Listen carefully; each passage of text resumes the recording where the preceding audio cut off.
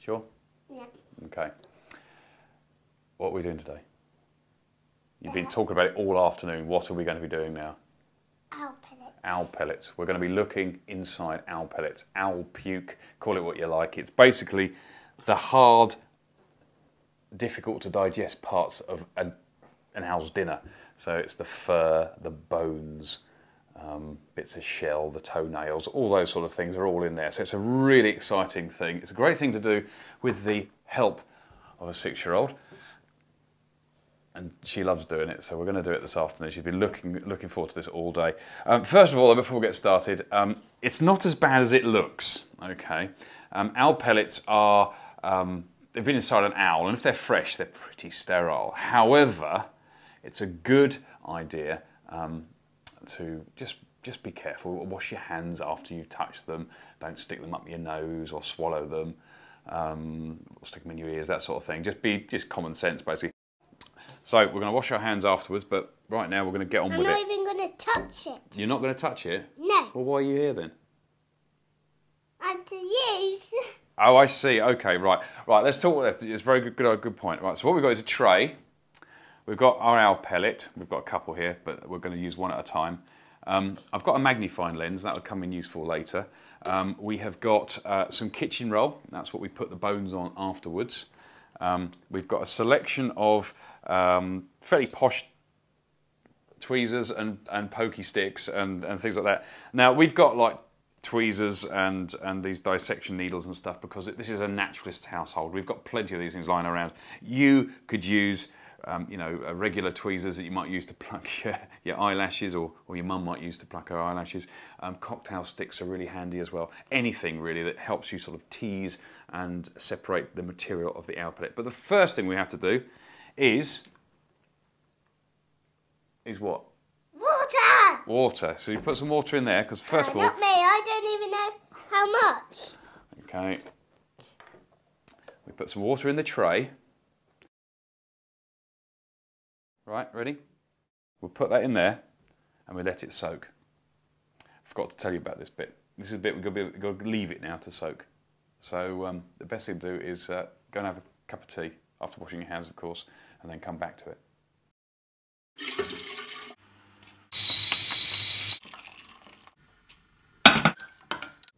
Right, the owl pellet has uh, soaked for you know 10 15 minutes. If you really want to make it really soggy, you can give it a bit longer, but uh, we're rather keen here to get on with this.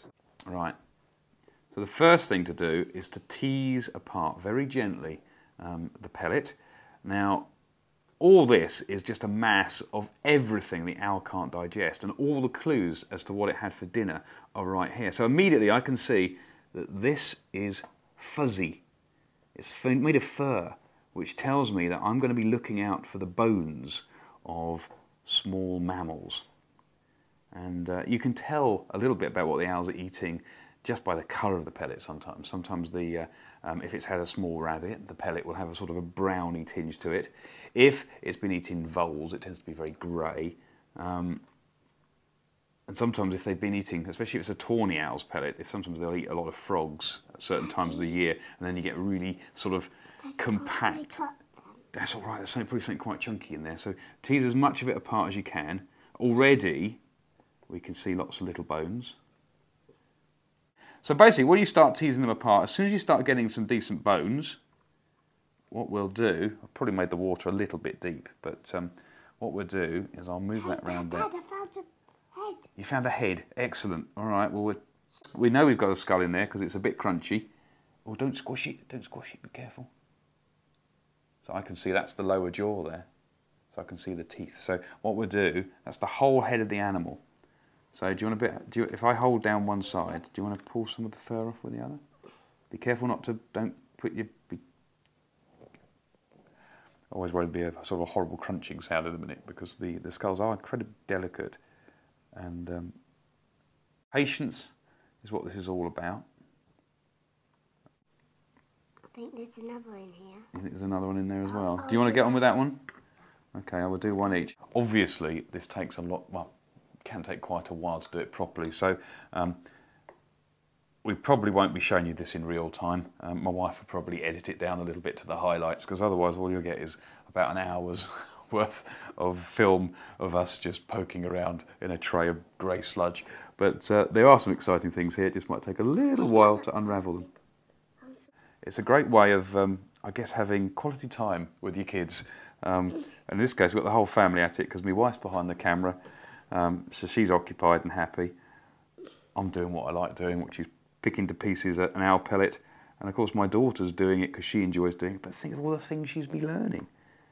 This is this is basic detective work going on right here. This is like animal CSI, crime scene investigations. Who's been murdered by the owl last night? There's a big question on everyone's minds, which is where do you get owl pellets? Well, I'm an owl. yes, from an owl. So first of all, you've got to find your owl um, And then get. and give it a squeeze. No! Wait for it to get some. Or find you some. Like that. You need to find where it's basically where it roosts. So that's the sort of place you find owl, owl pellets. We're underneath the roost, and um, what they do in a moment of, uh, of, of, of secretness, they'll just throw up the pellet, they cough it up, and it will fall to the ground. So you need to look on the ground underneath the owl roosts. Now, finding owl roosts, well, that's a whole different skill set together. There are people who will supply them. I believe you can get them from various teaching suppliers online. You can speak very nicely to your local wildlife trust. They may well have some owl expert who can help you out. Someone nearby um, will know where to get owl pellets. Okay, well, we can continue this um, for well we have this has taken us a good hour so far but we could easily carry on um, getting all the details out. But it's pretty good. Look at that. We've got um, a very good idea of what the owl ate last night or the nights that this pellet was created. They usually pr- produce one one or two pellets a day. So um, that's uh, that's a good representation of that night's hunting by the owl. Now what do we do? Clean the bones whiten them slightly. This is um, we make a solution of laundry bleach um, I use a nice laundry bleach because it's nice and gentle. Don't use regular bleach. One, um, it's nasty stuff, and two, it, um, it it's too powerful and it will dissolve the, uh, it will weaken the bones, and the bones will just crumble away to nothing. So just turn to dust. So what we'll do now is we'll, um, what are you doing? Oh, I see. Right, we'll just I was cleaning beans. you're cleaning those, were you? That's a good idea. We'll just pop the pop the bones. No one knows why. We get to do any bone we like. We get to do any bone we like. Yeah, just pop them in. Okay, we're pretty much done now. We're going to leave the bones to uh, soak for about an hour in the laundry bleach, and then the final stage in this process is to uh, to stick them all on black card, and they look lovely, believe me. So I hope you enjoy your owl pellets as much as we've enjoyed ours. We've enjoyed it, haven't we? But not me, because this one's getting really annoying. Try to get off.